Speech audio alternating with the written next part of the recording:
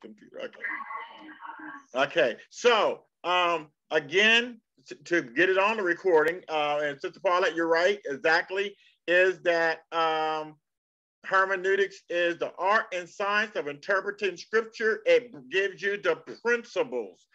How you use those principles is called exegy. How you use the principle is exegy, or some pronounce it exegesis.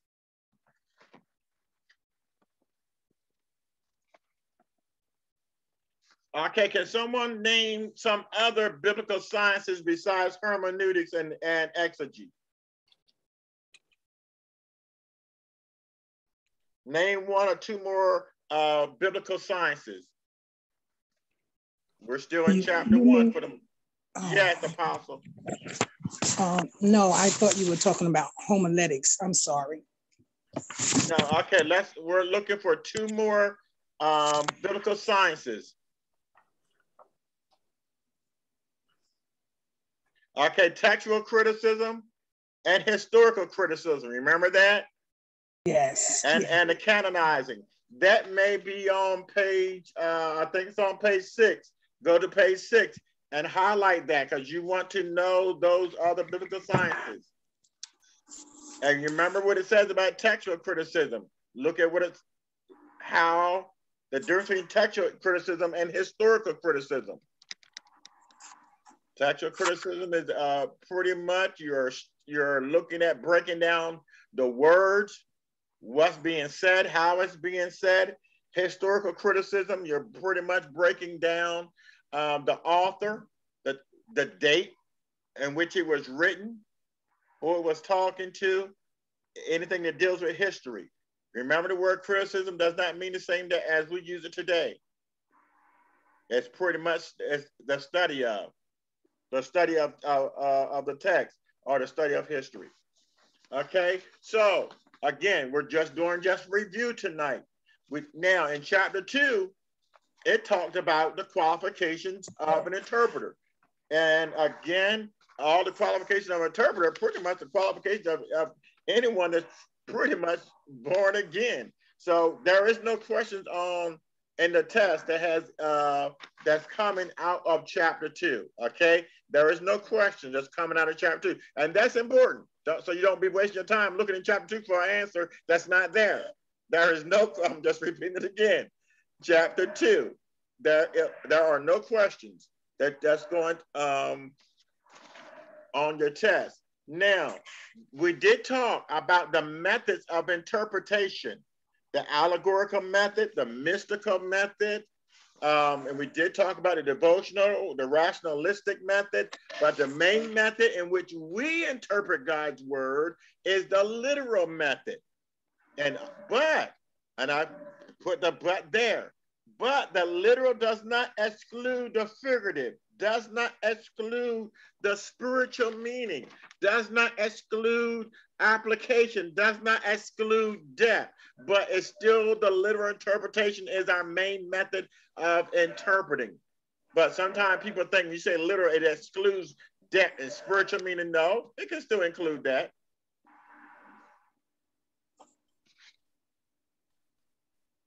Trying to take my time so you guys, I know you guys are writing this down. And remember, it's going to be on the recording. Now, I want to say this, that a lot of our, re our recording this recording will not only be on uh, YouTube, but it will be on our fake, um, not, excuse me, it will also be on your the school website. I need you guys get used to going to the school website because that's where you're going to start going uh, to start registering for your courses. Not to pay, but just say, this is the course I'm taking. Dr. Short, this course I'm taking. So you're going to have to log in with your name and email address. We're getting a little more professional. We are growing. So, um, so that way I know exactly who's taking the course before we get to the class. Okay, but we'll talk about that later. Yes, Mr. Paulette. What's the name of the website? nationalschooloftheology.com. Oh, okay.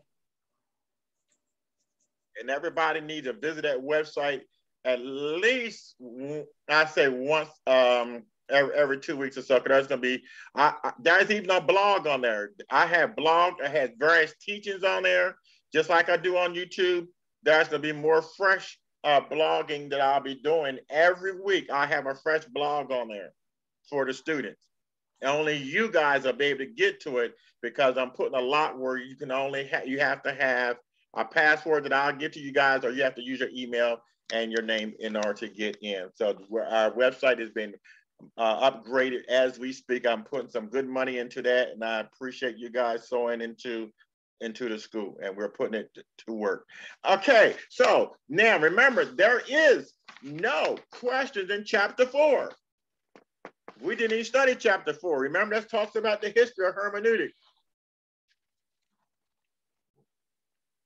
But we did get into chapter five. Okay. Um, now, in chapter five, there's a whole lot that possibly could be on the test. There's a whole lot that possibly could be on the test. One is um, talking about the get. Uh, first of all, it breaks down the three languages that the Bible was written in that's no longer being used. Can someone tell us that? Ancient Hebrew, ancient Koine Greek, and ancient Chaldee, or something like that. Or something like that would be right. That's right. okay. Okay, everybody should see that in your book. Okay, you should see that on chapter five, right up to the top. Where it says linguistic uh, gap. Uh, it talks about the gaps there. So one of the gaps, and we talk about those gaps. I believe there's four gaps. We got the linguistic gap, which is nothing more than the language gap. We also have the culture gap. You don't have to write this down. Just make it, make sure it's highlighted in your book. But it's up to you. That's how you want to do it. The geographical gap and the historical gap. Those four gaps. Why are those four gaps important? Anyone, but take some time out. Why understanding those gaps are crucial before we get into principle. Mm. Mm. Um, Dr. Short, this yeah. is Julie. Um, I'm thinking that, um, well, cultural, cultural language gap, different words, one word can mean something different to a, a person in a different country or a different area or even dialect, where it may be the same language, but the dialect is local to that hmm. particular group of people and they they don't understand each other. So um, so I think a language, a, a gap, and a, a geographical could also be cultural too, because a different country, a different a different language is spoken, and uh, the meaning of the word might not be the same as what was meant in the three original languages. Amen. Amen. So, so again, those gaps are actually gaps. They're gaps that could hinder our understanding, our interpretation. And so there's a gap of time, there's a gap of space, there's a gap of culture, gap of language that's different than ours. And, and so interpretation must consider, again, those gaps in order to get the proper understanding. Now, as we leave the gaps, now we go into principles. Now, these principles have one major thing that just about all of them say, and I'm saying just about, not every one of them, but most of them say the same thing that these principles must be used in consideration of interpretation. So, do not force something that's only to be considered into every interpretation, only to be considered. So, the, the first. Uh,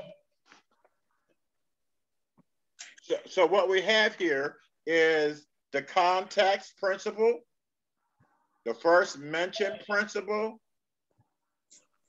comparative mention principle, the progressive, and the complete mention.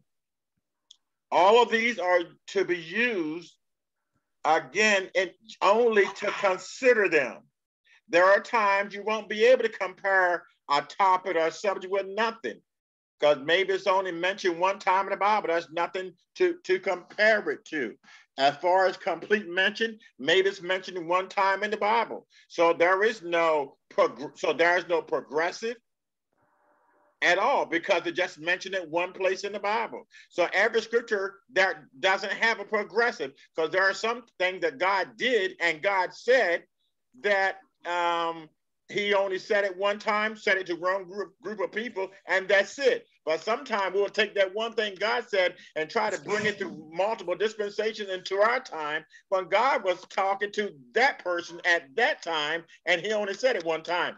Uh, for instance, in uh, I think it's the book of Exodus, God told Moses to make an holy oil, and he gave him five remedies to make this holy oil. He, told him about the uh, the calamus.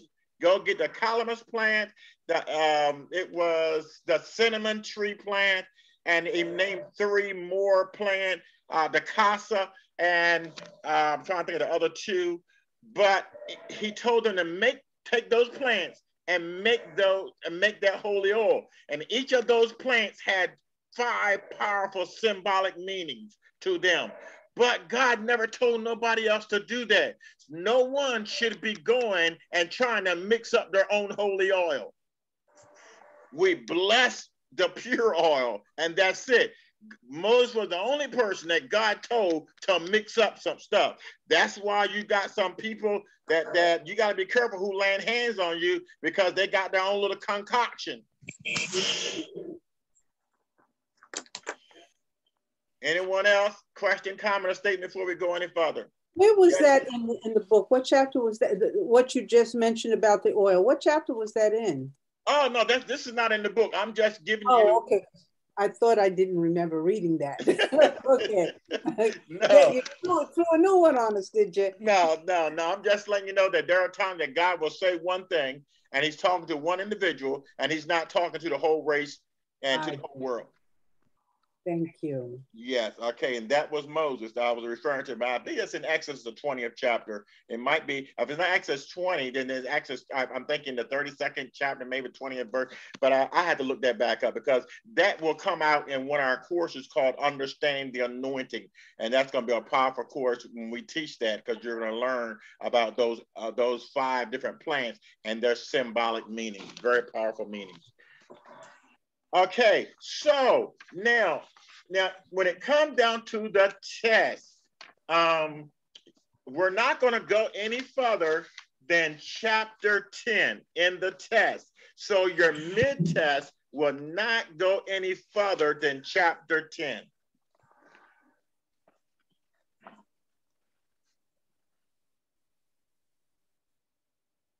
Okay, so so therefore, don't be looking for an answer. I mean, you still might find in chapter 11, but make sure that um, you try to stay within the confines of one through one through. Is there anybody that's done the test? I haven't looked on Flex Quiz. Dr. Short, when did we get the test? Uh, I sent it out um, several days ago, but I didn't send it out to everyone. I just sent it out to a few. I didn't, so everybody didn't get the test yet because it's not, and it's not due till Sunday anyway. So you're everybody's good. So if you guys, several of you guys didn't get it, don't worry about it. I was looking at it and I sent it out because two people, a couple people didn't mention it. So I just went ahead and just sent it out. But I'm quite sure they looked at it like, hmm, I don't think I'm ready yet. so, uh, but okay. So now, do you have any? Because I'm gonna send it. So when we, is gonna be a uh, quick class because I'm going to make sure everybody got the test, even though I'm going to send it twice to some of you, and you can start doing your test. I would love to have it done by Sunday, but because uh, I'm letting you out of class, why don't you just go ahead and jump right on and get it done so we can move on? How about that? Okay, so so I can grade it and get back with you if something's wrong. Because that's the thing. If you get something wrong and you're gonna see the computer mark it right or wrong, I'll, I'll, allow me, give me a day or two, and, and I'll go over your test. I want you to know why it's wrong. Um, but again, I'm not I'm not saying all this because I think the test is hard. I don't think it's hard at all, but of course I would think that way. So I know what, I know what some of you said. See, I read your mind. I was just thinking. Very yeah. Good. Yes, I told you. Very good. I'm prophetic, man. Don't mess with me. you gotta watch out for you. so, but in a, in a way, so okay, so I'm and the main thing you guys did answer, uh, did a good job because out of this course, I, I, know it's gonna, it sounds crazy. It's only about five things so far I really need you to know. And I'm gonna go, I'm gonna mention them one more time. You need to know the pronunciation of hermeneutics. Okay, that, that's important to me. That's really important because you're coming from the school, and I don't want you to talk to someone and mispronounce it. And they say, Dr. Shorts, I ain't going there, please. Uh, but anyway, the pronunciation is crucial, and I know I can kill some words myself, so I'm not picking on you. Um, so know know the pronunciation and know the uh, definition, the art and science of interpreting scripture. That's crucial. And, and also, it's all about this word. Most of those five is about this word. And then know the difference between hermeneutics and exegesis. If you, if you do those things, know those, I, am good. Because you're gonna you're gonna understand the principles. Because you already recognize the wait a minute all the principles the uh, the definition of the principles is in the name. You know the complete mention you know in consideration for the most part. And so we're gonna after so this is our fifth week. So the fifth week you're doing your test. We have three more weeks to get through this book. And so next so next wednesday we're gonna be i'm gonna be pushing you guys. So after you do this test um, again, just skim through the rest of the chapters, uh, one through, I mean, excuse me, 11 through 16 or so, look through them. And then we're going to get going because we've got to get to chapter 24. I think it's 24 chapters, if not 22 in this book. And, um, and so, but again, it's not that hard. If you look at how the author has put it as a really make it very simple for you to understand. And I think as you read this book, it'll start coming to you. You'll start comprehending it, start understanding it. All you got to do is just read it, and and for the most part, you'll get it. But if not, that's what I get paid for is to teach. Any question, comments, or statements? I didn't know you get paid. I'm still I'm still dreaming. I'm, I got don't ruin my dream. okay. Okay. So um let me see here. So I'm gonna Okay, so I'm uh who's not here? Sister Ann is not here. Okay.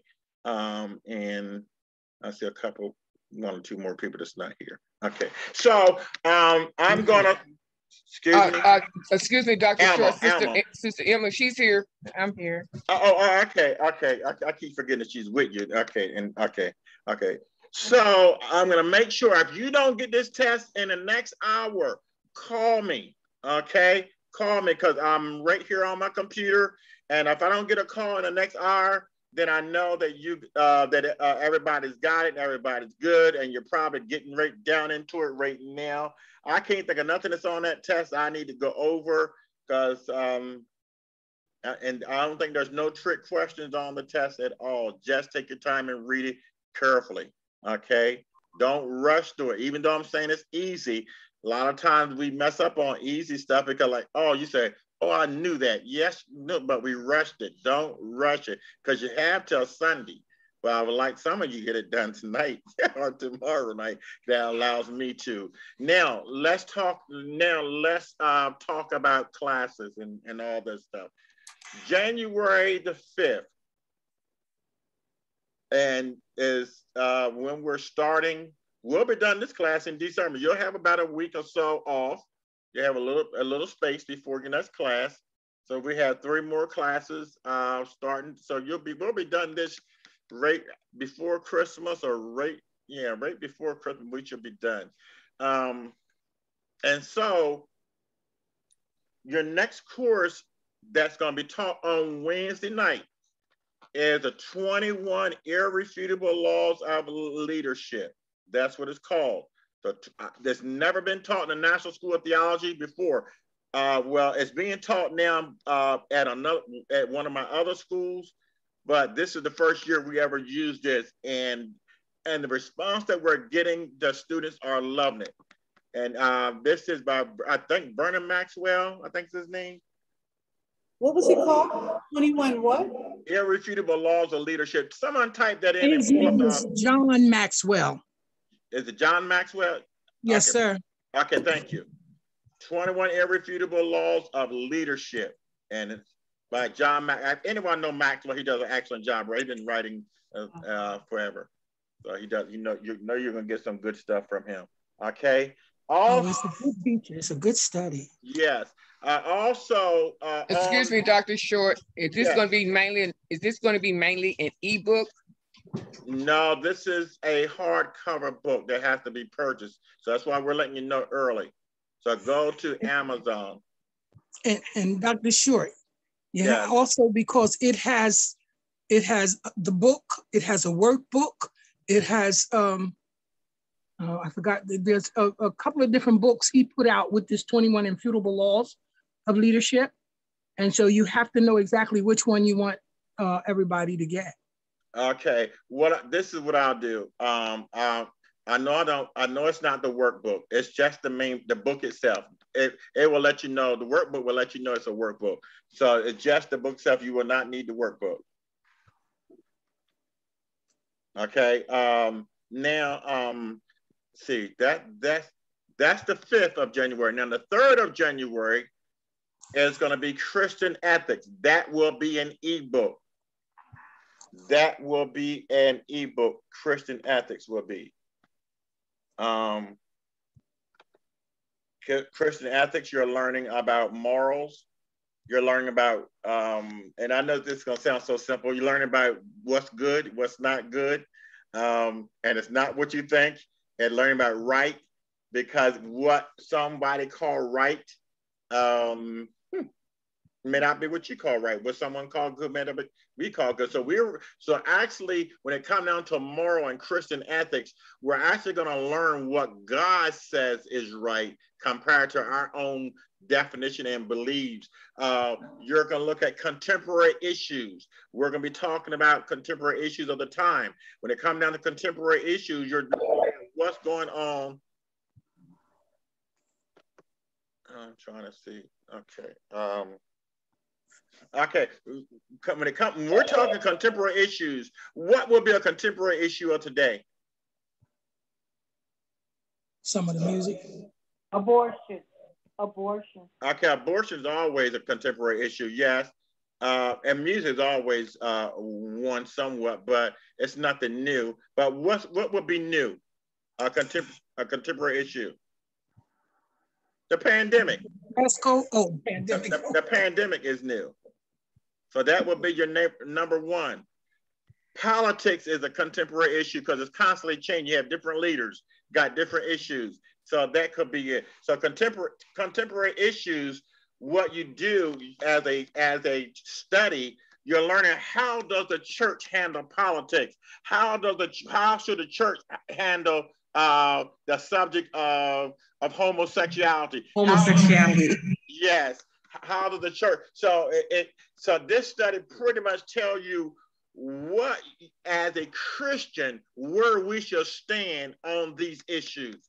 And it's again uh, some people feel like well as a christian you should be a republican. As a christian you should be a democrat. As a christian well, well not necessarily. So we're, we're going to study because the only side that we know that's right is god's side. So um so so that'll be a course that that'll be on Monday. But the, I mentioned two courses. One is contemporary issues, and the other is Christian ethic. They're very very close. You're to have one or the other. I will know by the weekend, and everyone's to get an email. Also, by the weekend, go to the National School of Theology.com. You're going to see all the courses that we're going to be taking for the next few months. So it's going to always be listed there. It may ask you for your name and email address on there in order for you to get in. So if it asks, please give it so that way I can keep up with who's coming to the site and uh, who's being obedient because that's where most of your stuff is going to be found at. Yes, it's Paulette. You said one was January the 3rd and one was January the 5th. That they're two days apart from each other. So which one is the next course? Okay, the next course for you is on the 5th. The 5th. Uh, the 5th, yes. And that's the in I can't even spell it. In, in irrefutable laws, yes. Well, you're not by yourself. I can't spell that. I can say it. irrefutable laws, yes. Irrefutable laws, okay. U T A B yeah. So, but again, you don't have to take two courses. You can just take one. Or if you want to take both, that's fine. We'll work with anybody that want to take both. Um, and so, but that's what you saw. The third, again, we're doing Christian ethics and or um, contemporary issues. And the fifth, we're doing the 21 irrefutable laws of leadership. Uh, we Excuse will me, not, Dr. Short. Yeah, Excuse me. Now, you will not be teaching these? I will be teaching Monday, but okay. uh, I'll be teaching Monday. The person that's teaching the 21 irrefutable laws of leadership has taught it before. I've never taught it. I'm gonna let them go with it because I think they're doing an outstanding job in the school that they're teaching right now. Dr. Short, can I spell irrefutable? Sure. It's I R R I R R E F U T A B L E. Okay, one more time. I R R E F U T A B L E. And his name is John C. Maxwell. I know because I have the books. I am teaching it online. Okay, good. On my prayer line. Okay. Um, so Dr. let's Short, yes. Dr. Short, um, the, the class on the third in Christian ethics, the ebook, will we get uh, um, a message about? Uh, uh, um, yeah, matter of fact, I'm going to send that. Download it.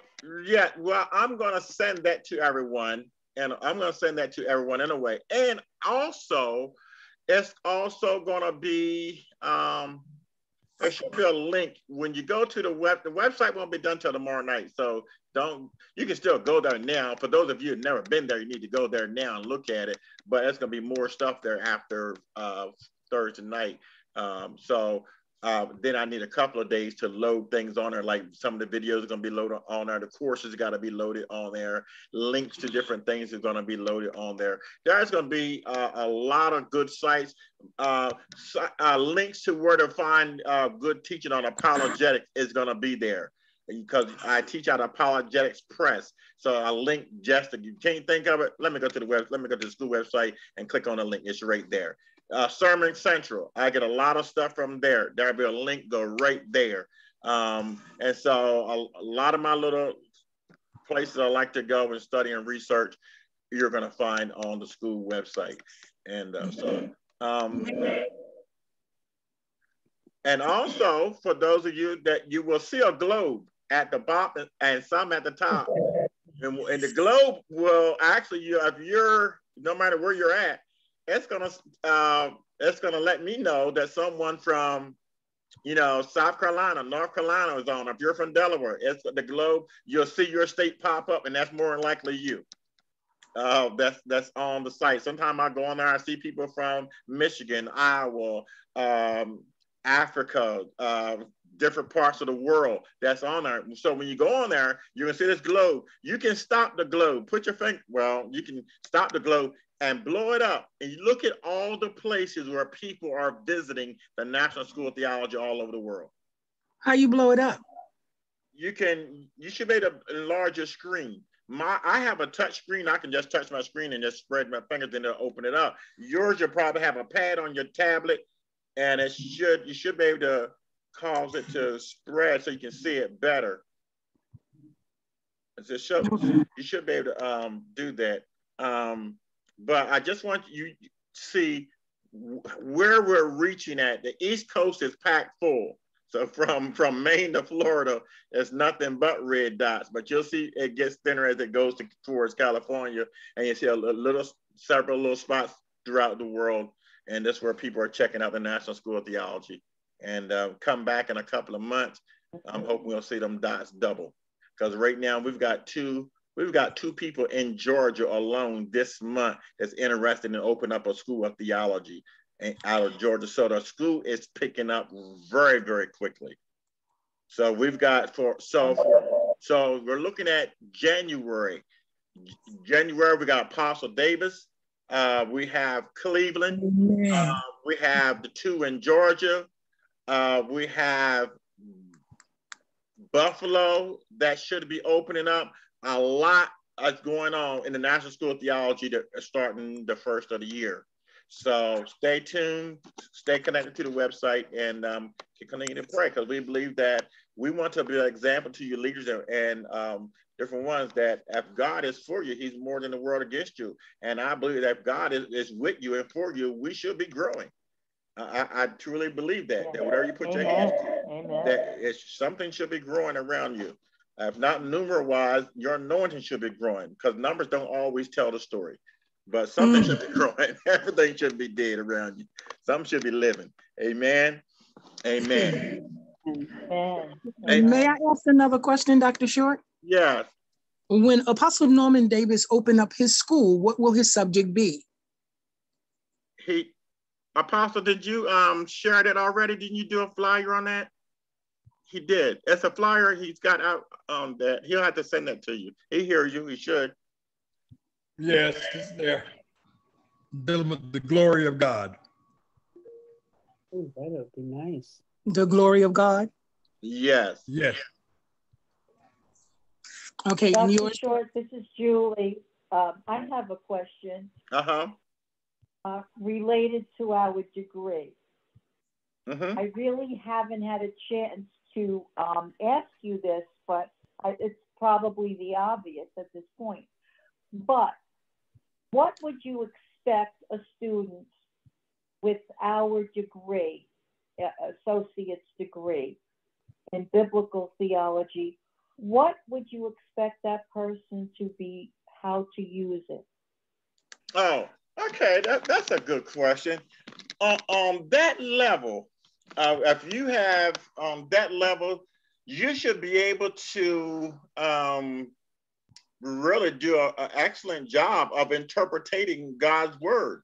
You should be able to expound um, your preaching and or your teaching. Should there should be whoever's over you should see uh, a difference in you and how you articulate or if you're in, involved in sunday school involved in bible study but if you're not involved in nothing then you have nothing to showcase what you've been learning but mm-hmm. if you're involved in things some people going to recognize you know, uh, your growth. They're gonna recognize, you know, that don't mean that you go out there and just start spitting off hermeneutic, just telling, you know, and all this, showing off with it. But but if you're in your if you're in your church Bible studies, if you're active in your church, uh, it, it, it, there are things that will show off. So on on that uh, level, associate uh, the associate level, again, you should your knowledge just on that level should surpass anyone in the church that uh, don't go to school.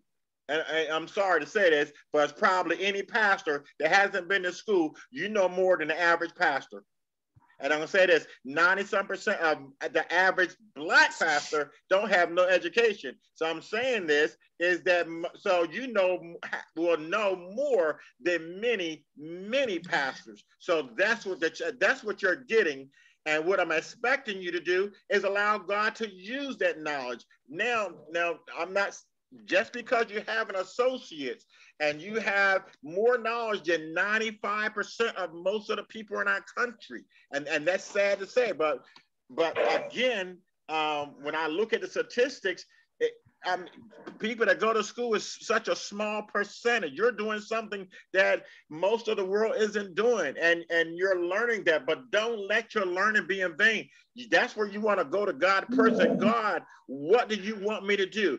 Uh, Elder, soon to be Dr. Dina Brown. She's hosting most of uh, multiple Bible studies on, on, on online. Apostle Gladys is doing Bible studies. She's already 21 irrefutable laws. Uh, Apostle Norman Davis, he does Clubhouse. So, uh, so there are ways to use what you're getting. There are there are social um, societies out there, I call it that, that will allows you to be able to utilize your gift and nothing more. You can do something at home, have a home Bible study, invite your neighbors, your friends over, and meet once a week. But uh, allow, but that's where God has to allow you to do uh, what He's called you to do. But there are so much, so many ways that you can uh, uh, utilize your your uh, associate's degree because already you're more knowledgeable than so many people that hasn't been to school at all. Yes, I understand. Thank you. What I'm interested in, in where I live near Myrtle Beach, um, we have many senior citizens, mm-hmm. and um, there are assisted livings popping up all over the place.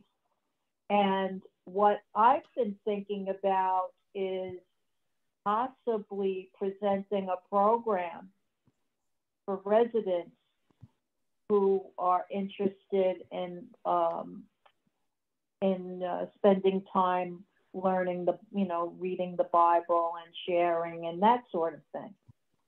So that's kind of where I was thinking, but this has just kind of popped into my head. So I'm going to let God decide what He wants. Yes, that's a, to do. Amen. thank you. Thank amen. You so amen. Because again, that's what God God has to do. That I can give you tools, but He has to give you the ministry, and and also. right. So, uh, amen. But that was a very good question. I hope everyone got something out of that. Amen. And then I was also looking at Sister Myra here, and she has a ministry that she does. Um, she she does, I believe she does various teaching, and she also has various guests. So there is something for everybody to do. I'm so glad that all you guys do that because too many people run into the pulpit. That's more than just the pulpit. There's a way of reaching you besides running behind the pulpit. You know, there's uh, there's still street ministry. I know very few people that not interested in that because you don't get paid at all. Ain't no homeless people. Sir, you just don't get the money. yes, uh, the, you know, you can't better ministering to the homeless. They're not gonna cash out you nothing. So, you know, and that's sad, but we need people out there uh, that's doing that. So in nursing homes, where you're talking in nursing homes is a is a great place, especially if you're young in ministry. That what there you can go there, you can, you know, have your little get your nerves together and build yourself up and as you're working with them. And then as you do mm-hmm. great with them, you never know, it may, may elevate. Uh, Dr. Catherine Bohannon, one of our teachers on Thursday night, that's where she's been doing that for years, going to the nursing home. That's where she got one of her first starts working at the nursing home. So we know because of the pandemic that they cut a lot of things out. But hey, look into it. They might, some places are opening back up as school has, and see what's you know uh, what's available out there. But I'm quite sure there's much. Well, I've enjoyed this conversation. Any more personal conversations, call me tomorrow. okay. So we love you because I want you guys to start this test. That's what this is all about, getting you out early so you can start this test. If you don't get the test in the next hour, please call me or text me. Let me know, Dr. Short, I did not get the okay. test. Okay. Okay, Father, right okay. now. Okay, thank you. Now, Sister Judy, I'm going to call. Mr. Judy, I got to call. Sister Julie, I got to call you anyway yes. right after we hang up. So stay close to your phone, please. Okay, very okay. good. Okay, Father, right now in Jesus' name, we thank you, God, for your goodness and your grace. We thank you for how you bless us. We thank you, God, for how you're uh, just allowing us to learn how to use what we know. And God, I thank you for the question. I thank you for, dear God, those that are going into ministry in this class in the next coming months. God, we ask you to bless those ministers. God, bless those that's, dear God, that has those degrees and teach them and show us how to use what we got in order to get what we want. God, we bless you. In Jesus' name we pray. Amen and amen. God bless you, saints of God. Amen. We'll see you uh, next week. Bye bye.